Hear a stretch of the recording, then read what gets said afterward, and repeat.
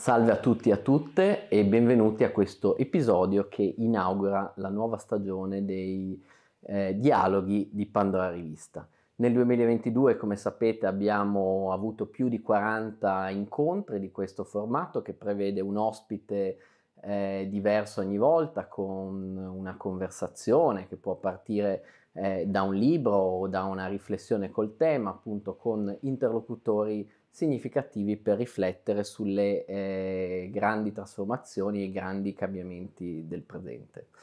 E vi ringraziamo appunto per quelli che ci hanno seguito nella stagione precedente e siamo molto lieti se qualcuno deciderà di seguirci appunto in questo nuovo eh, momento e siamo molto contenti di inaugurare appunto questa nuova stagione con Cecilia Sala, è un ospite che molti di voi conosceranno. Cecilia Sala è una giornalista, è cura per Cora Media il podcast Stories, una storia dal mondo ogni giorno, è anche una giornalista che scrive per la carta stampata, eh, scrive per il foglio e ha scritto anche per numerose altre testate, ha collaborato anche con la televisione, quindi diciamo è eh, una figura che ha anche una, una grande eh, esperienza e con cui cercheremo appunto di riflettere appunto su eh, le modalità appunto di raccontare il mondo, di raccontare la politica eh, internazionale e anche sui formati, sui linguaggi dell'informazione e del giornalismo. Quindi io eh, vi ringrazio in anticipo per l'attenzione che dedicherete a questa nuova stagione e possiamo iniziare dopo la sigla.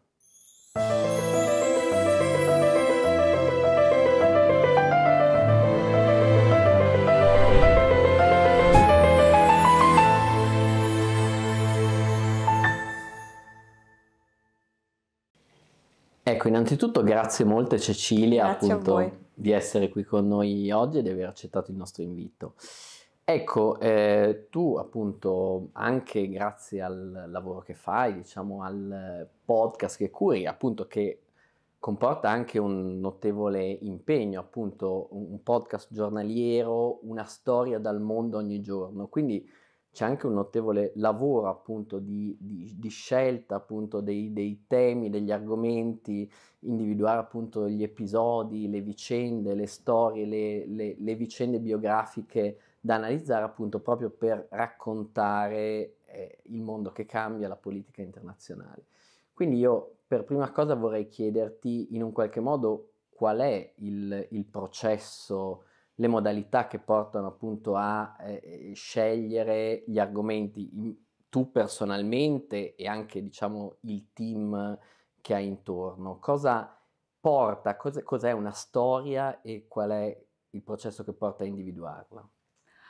È la parte più complessa della realizzazione del podcast, cioè quella di, della scelta della storia è più faticosa e chiede, richiede più tempo uh, della scrittura o della registrazione o del montaggio o della ricerca dei contributi audio. È un, un podcast che cerca nella quotidianità di mischiare uh, grandi eventi che non si possono tacere uh, e ehm, storie molto piccole che difficilmente trovi sulla, sulla stampa, sull'informazione generalista, che magari non sono l'attualità, la grande notizia di attualità uh, di, di, quella fase, eh,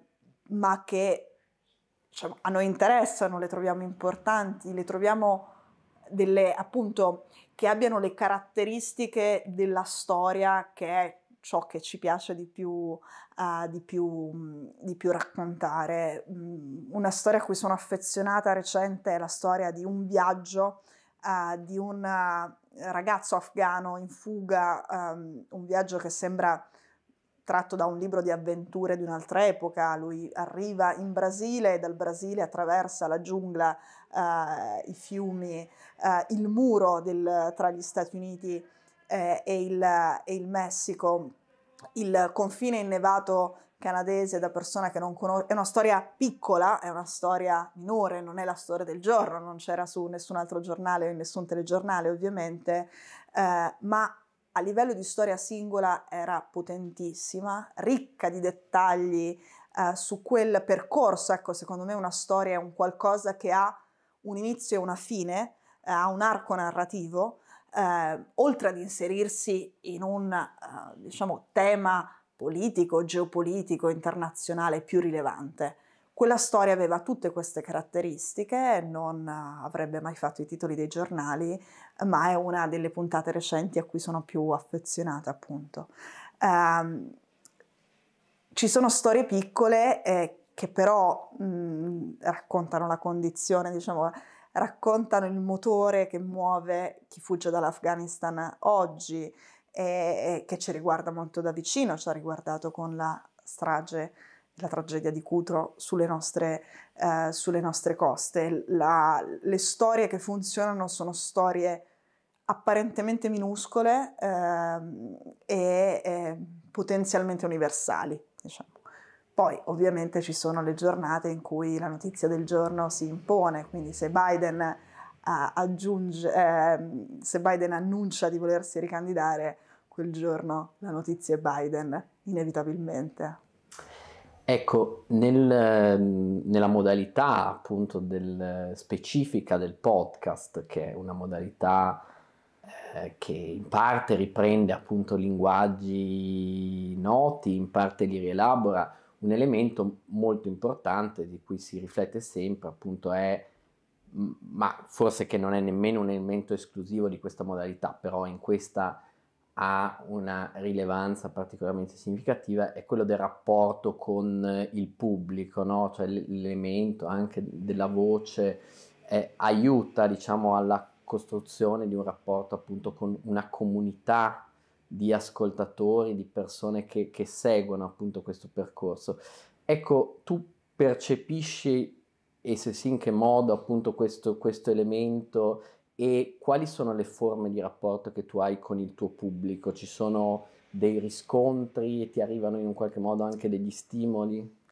Allora, sono molto d'accordo con quello che stavi dicendo, cioè si crea con il podcast un'intimità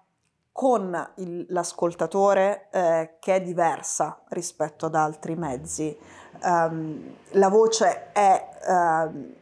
e il modo in cui viene utilizzata nei podcast, che è molto diverso da uh, il GR, diciamo, il, uh, il GR Parlamento, ecco, come tono, come approccio. Quindi utilizzare la voce in un modo intimo crea un rapporto intimo con, con chi ti ascolta, che è una cosa per cui chi ti ascolta si sente anche eh, diciamo, questa, questa, intimità a due facce, nel senso che da una parte è, è bellissima e appunto crea una comunità, crea un'abitudine, crea una consuetudine, um, dall'altra parte è un'intimità per cui ti, eh, c'è un rapporto um, quasi, quasi, alla pari con... Uh, ci sono moltissimi consigli di temi da trattare, ci sono moltissimi ascoltatori che sono italiani all'estero eh, mi ricordo un, uno cattivissimo che mi corresse tutta una serie di pronunce in norvegese che io non, non parlo, non mastico, non pratico, eh, con, con, con, gentilezza ovviamente, però eh, ecco c'è un, un, rapporto fruttuoso. Io ehm, soprattutto in, rispetto a paesi che non sono quelli di cui eh, mi occupo principalmente, è un podcast che rispetto ad altri possibili podcast esteri è sbilanciato a livello di quantità sulle aree di crisi perché sono ciò che mi interessa, ciò che io seguo, ciò di cui scrivo anche per, per il giornale, per il foglio, sono i luoghi in cui vado da uh, inviata, non vado a seguire le lezioni francesi come uh, diciamo, tipica trasferta di stories. Quindi eh, sono molto contenta se eh, rispetto alla Norvegia c'è un ascoltatore, un italiano che vive lì da dieci anni eh, che ha voglia di suggerirmi un taglio eh, particolare per raccontare un, eh, un, evento. E devo dire che li, li sfrutto molto sulle storie eh, che non vengono dai paesi che frequento più abitualmente. Ecco, parlavamo appunto di questo formato appunto mh, incentrato appunto su questo termine proprio storie, no? Quindi la scelta dell'episodio, la scelta appunto del, della vicenda, eh, dell'evento e al tempo stesso in un qualche modo seguire la politica internazionale anche un elemento che è legato diciamo al familiarizzare il pubblico, gli ascoltatori con dei contesti che spesso sono poco conosciuti, che hanno a che fare diciamo con eh, dei sistemi istituzionali che magari non seguiamo giorno per giorno e soprattutto degli eventi che magari al di là dell'emergenza, al di là della singola storia, poi hanno una loro evoluzione nel tempo, no? Ecco, come in un qualche modo si conciliano questi due elementi, cioè come si concilia da un lato l'elemento magari anche del, del contesto, dello studio, del dare delle informazioni su quella che è l'evoluzione, la situazione del paese e poi la storia, la vicenda specifica. Innanzitutto aiuta il fatto uh, di essere alla 300 e passa puntata, no? quindi tutta una serie, perché è verissimo quello che dicevi, all'inizio sentivo molto di più questo peso, cioè come fai ad andare direttamente a una storia specifica se chi ti ascolta non è detto che conoscerà il contesto. Certo, se stiamo parlando di Trump che viene arrestato, ok, è facile. Eh, se stiamo parlando del Sudan, raccontare una storia molto specifica sul Sudan a un pubblico che è, diciamo, chi, chi, fruisce dell'informazione in Italia, che non per forza conosce tutte le tappe della storia recente del Sudan, che è un paese molto poco trattato da noi, eh, diciamo, ci sono varie formule. All'inizio era più complesso perché eh, non un, un, un, non avevamo già seminato alla più che trecentesima, molto più che trecentesima puntata, eh, c'è tutto un, un, percorso che è già stato fatto, quindi alcune cose si possono, si possono dare per scontate. La prima storia che ho fatto dal Sudan è una storia che per la prima parte del podcast, fino a che non c'è un, proprio un, uh, uno stacco, noi li chiamiamo così, tra chi fa stories, tra me e il montatore, uh, di sonorizzazione, per cui c'è un evento che tu ascolti in audio, un audio sul campo, da cui poi parte, dopo la singola storia, una ricostruzione di quelli che sono stati gli ultimi avvenimenti in Sudan. A volte ci sono dei personaggi che, diciamo, sono stati protagonisti di varie fasi, mm, il generale Dmiti, eh, che ti permettono di raccontare la storia di un protagonista e allo stesso tempo la storia di un paese o di un contesto. Eh, è, una, è, un equilibrio in, importante da trovare, eh, così come su alcune storie, soprattutto ehm, diciamo in cui magari eh, di quelle che ti, ti, ti dicevo non essere le notizie ovvie, Biden che si ricandida, è la storia del giorno per tutti. Quelle che sei andato un po' a cercarti e che sono meno note, eh, ci piace tornarci sopra e raccontare come, come sono andate a finire, quindi costruire, ma i rimandi ci sono a prescindere, anche se non si rimane sulla, sulla stessa storia, ormai più si va avanti con stories, più mi capita nelle puntate di dire, come vi ricordate se avete sentito l'episodio? E, e si riesce poi a raccontare delle storie molto particolari. Eh,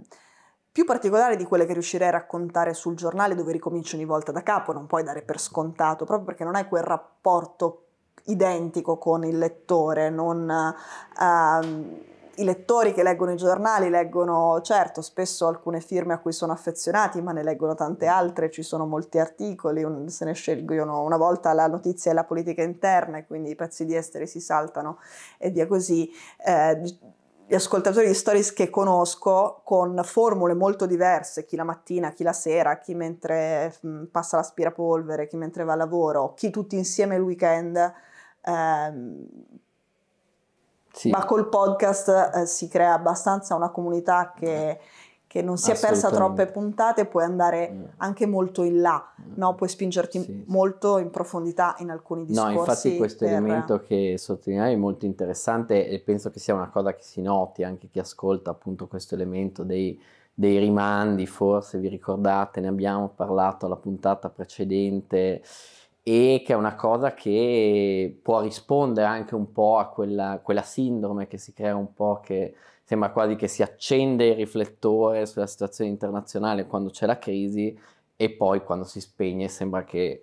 quel contesto, quel paese. E poi non capiamo mai le, le altre esatto. crisi, ci sembrano tutte incomprensibili e improvvise perché se non... Eh, se e sconnesse di tra di loro, sì. cioè come se fossero tutte delle cose completamente irrelate. Ecco, puoi farci qualche esempio, diciamo, di qualcuna di queste storie su cui magari tu sei tornata a distanza di tempo e che hanno dato proprio il senso di un'evoluzione, no? Di qualcosa che tu avevi visto in un certo momento, poi hai mostrato come è andata a finire, hai, mo- hai mostrato come si sono evolute le cose nel tempo. Allora, è successo sicuramente con um, una storia ucraina, c'è una ragazza che io ho conosciuto in una trasferta di gennaio 2022, prima che cominciasse la guerra, che ho rincontrato uh, nella puntata dell'anniversario del primo anno di guerra è una ragazza che mi diceva quando la maggior parte di noi pensavano che comunque l'invasione fosse l'ipotesi meno probabile, cioè molti di noi fino al giorno in cui i carri armati russi non hanno varcato i confini ucraini credevano uh, che uh, tutto sommato fosse troppo irrazionale dal punto di vista di Putin, non che Putin non, non, fosse capace di scelte tanto violente, ma che fosse una scelta troppo irrazionale per lui, per la sua leadership, per la Russia e che non sarebbe avvenuta. Caterina, che io incontro a gennaio a Kiev, è assolutamente certa che la guerra ci sarà e, ed è pronta a combatterla. Lei è una ragazza, quindi sarebbe potuta andare in Polonia, in Ungheria, in Italia, in Francia, in Spagna, avrebbe potuto varcare i confini. È una ragazza che tra l'altro ha, fatto la modella, ha vissuto tanto all'estero, ha girato molto, parla altre lingue, avrebbe anche avuto meno difficoltà di altri ucraini ad ambientarsi in un paese europeo. Eh, è una ragazza che è stata protagonista di una delle ultime rivoluzioni, forse l'ultima rivoluzione in Europa, cioè Euromaidan nel 2014, il momento in cui l'Ucraina cambia la sua linea politica, eh, la, sua, la sua direzione e che dal suo punto di vista è il, il momento storico più importante della storia recente del suo paese che viene punito a otto anni di distanza con questa guerra. Eh, però io la incontro la prima volta in un'atmosfera per cui moltissimi, la Casa Bianca, il Pentagono, il Cremlino, ma anche tanti ucraini, eh, non, non, non avrebbero mai previsto che la resistenza ucraina portasse diciamo, a, a, al fatto che i russi a Kiev non ci avrebbero mai messo piede, addirittura che ci sarebbero poi state due controffensive mesi più tardi, quindi reincontrare quella voce con tutto quello che è successo in, in, quell'anno, con il legame emotivo che si è creato anche con questa ragazza, perché l'intimità del podcast la crei sia con la voce, diciamo, dell'host, del, uh, quando si registrano le puntate da Roma, ma si crea anche con i personaggi sul campo, mm. quando li si, uh, li si li si incontra. È successo qualcosa di simile anche con, con, delle, uh, con delle, puntate iraniane, ma anche, sulle, ma anche su delle storie uh, diciamo più, più, circostanziate come quella di Murdoch e, del, e di Fox News e, e ci siamo, ne avevamo parlato tempo fa e ci, è arrivato il processo del secolo alla Fox, poi si è chiuso con una, uh, con una multa multa, insomma con un accordo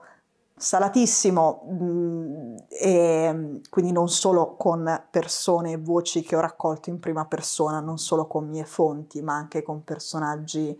uh, molto lontani dal, uh, dalle, mie, dalle, mie, trasferte. E ogni volta si riesce a ottenere diciamo, uno strato di profondità uh, che io personalmente se non avessi la possibilità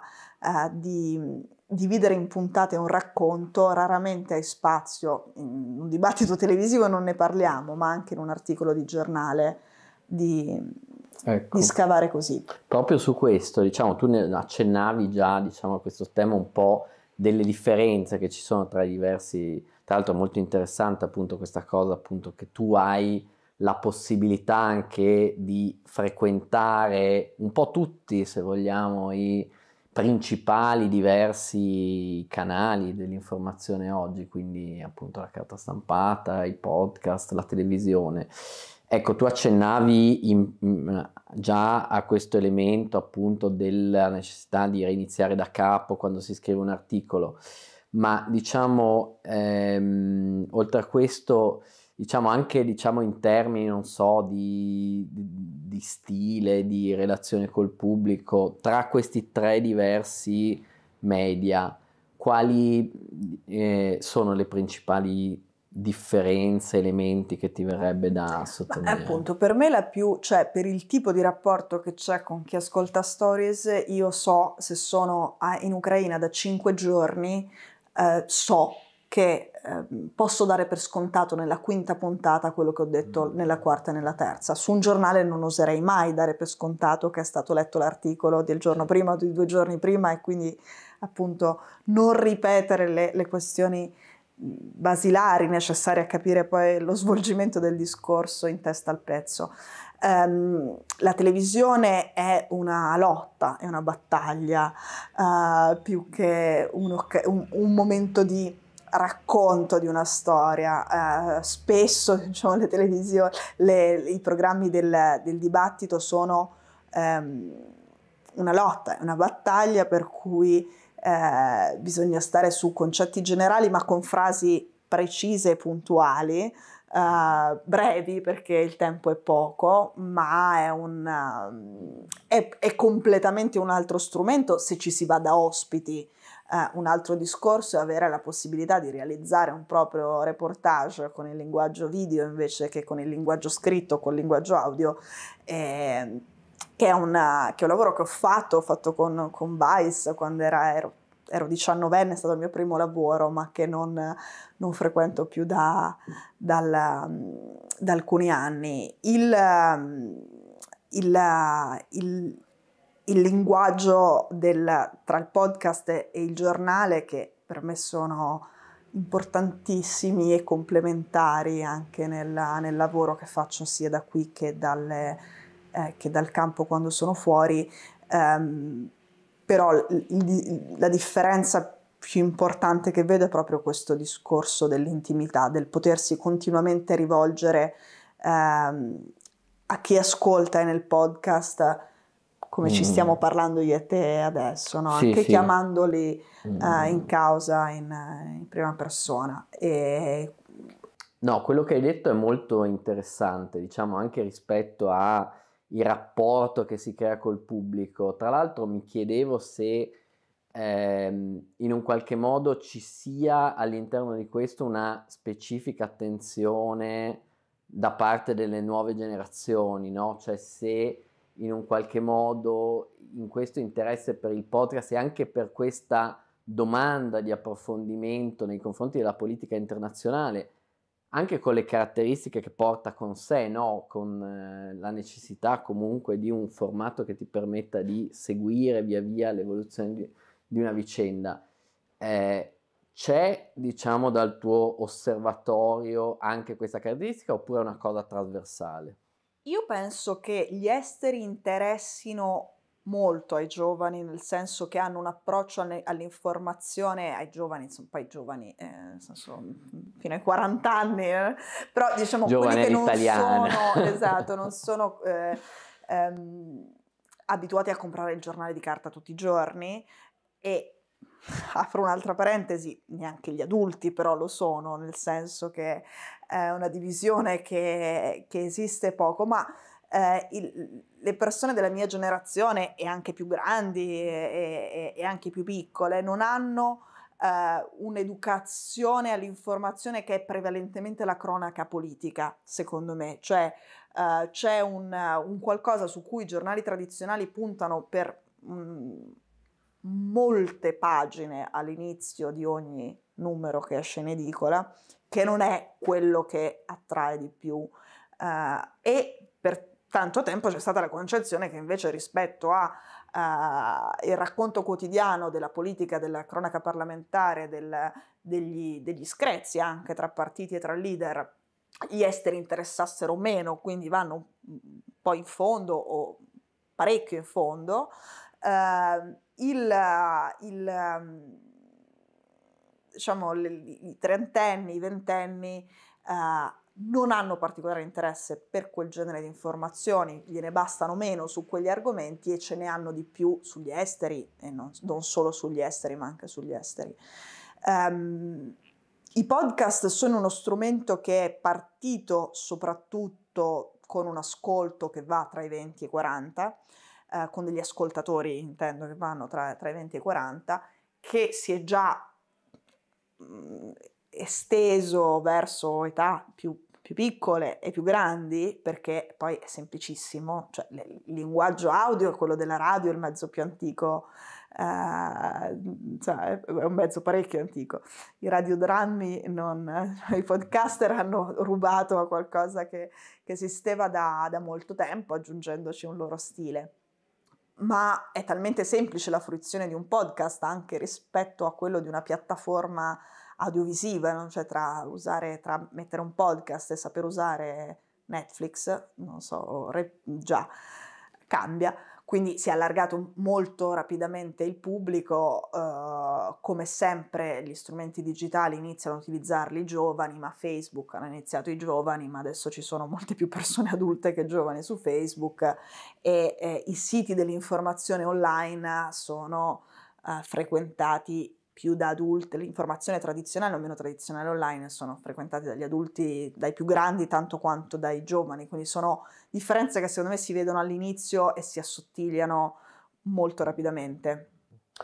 Grazie, no, tra l'altro appunto questo, mh, tutte queste riflessioni penso siano molto significative all'interno di un contesto dell'informazione che si va ridefinendo proprio a partire anche proprio dal, dall'osmosi tra queste diverse forme certo. di informazione, perché poi ci sono una serie di rimandi reciproci, sono, comunque la televisione continua ad esserci, però assume anche una circolazione diversa all'interno dei, dei, dei social certo. media. I giornali continuano ad essere comunque in un qualche modo anche alla base per certi aspetti della circolazione e all'interno di questo i podcast creano anche nuove possibilità e quindi diciamo, è molto interessante anche in chiave di sperimentazione il tipo di... E, e, questo, diciamo, è anche parte di una riflessione che probabilmente si può fare su come si può anche rimediare ai limiti, ai difetti che ci sono a un'informazione che magari è troppo sul, sugli stimoli del momento, che non permette, diciamo, di assumere una visione più critica. Ecco, io ringrazio davvero, ti ringrazio, Grazie ringrazio a, a Sala per essere stata con noi oggi, per averci aiutato, diciamo, a riflettere su, comunque su, su temi su cui come Pandora Rivista eh, ragioniamo molto, come sanno i nostri lettori e ringrazio tutti voi per averci seguito e vi do appuntamento alla prossima puntata dei dialoghi di Pandora Rivista.